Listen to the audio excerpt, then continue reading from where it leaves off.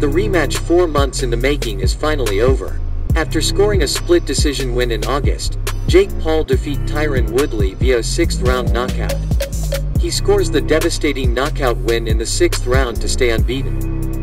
Everyone in the arena was shocked after a huge overhand right landed flush on Woodley's face that sends him face first to the canvas. That spectacular knockout became trending in social media and here is the fans and boxing experts' reaction.